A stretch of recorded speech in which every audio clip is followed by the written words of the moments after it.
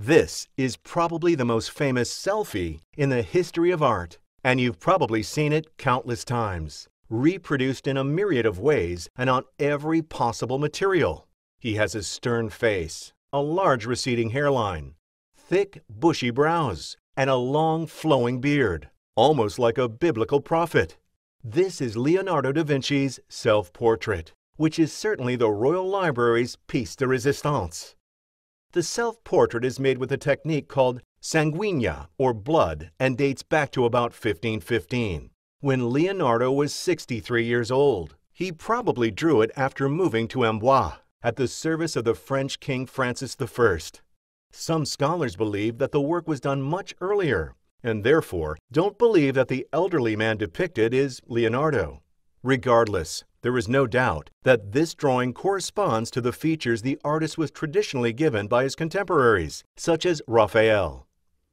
Upon his death in 1519, Leonardo left all his manuscripts, drawings, and notes to his friend and student Francesco Melzi, who brought them back to Italy to his villa in Vaprio d'Adda, near Bergamo.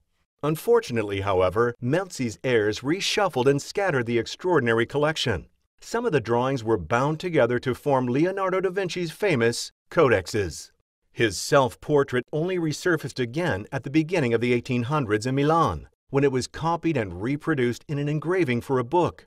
But the story is quite mysterious. The drawing disappeared again, only to reappear 30 years later as a possession of a Piedmont collector, who said he had bought it in England or France.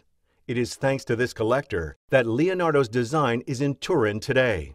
In fact, it was purchased by Charles Albert of Savoy along with many other drawings by great artists, and from the Savoy collections, they then finished here at the Royal Library.